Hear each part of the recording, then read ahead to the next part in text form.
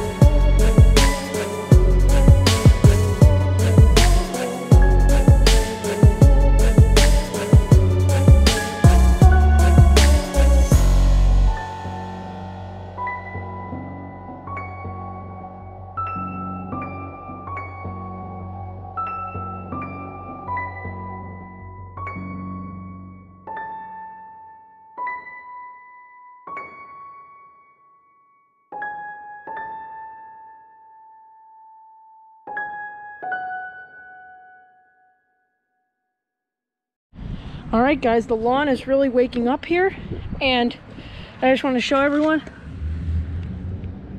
that I have a soil thermometer in there, and the temperature is just right up into the mid 50s.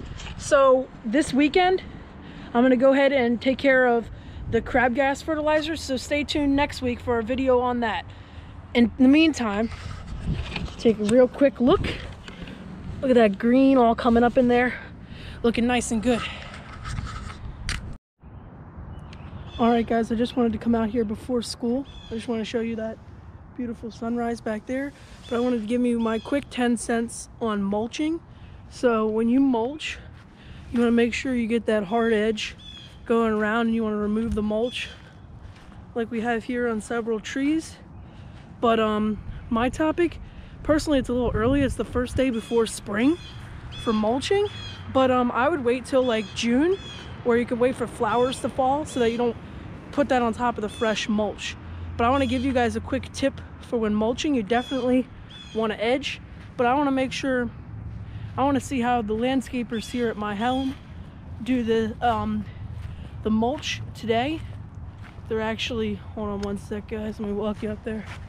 Actually all the way up there on my street. So I want to see how they do it today and then I'll go ahead and show you my topic for when you guys mulch.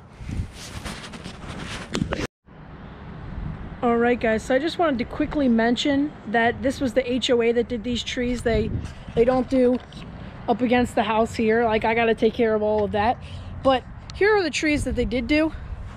And they look nice. They did them all around there. I'll show them to you in just a second. But here's my quick tip for when mulching, okay? Here's, here's the problem that goes on with a lot of mulch is they crowd the mulch up against the crown too much. See, even here, there's a little bit too much, okay? You need to unbury your crown so that your tree can breathe. And that way it doesn't end up with, um, with mold going up and down the tree. See, I fixed this tree a while ago. So, there's not really that much of a problem with it. But I mean, some of them get really bad. But here's what it looks like when you go ahead and fix it. So it's nice, nice and clean. Now I'll take you over here, give you another quick example. Here's this tree. And you just want to kind of uncrowd it so you can see that base of that tree. Hold on one sec, guys. And then just go ahead and, you know, fill back in the areas, kind of smooth it out and run it down the tree. Here's another one that they did a really good job with. Nice and clean. So that's how you go ahead and take care of that problem and fix that problem. With that, I'm Aiden from A's Lawn and Landscaping. Thank you guys for watching. I'll see you guys on the next one.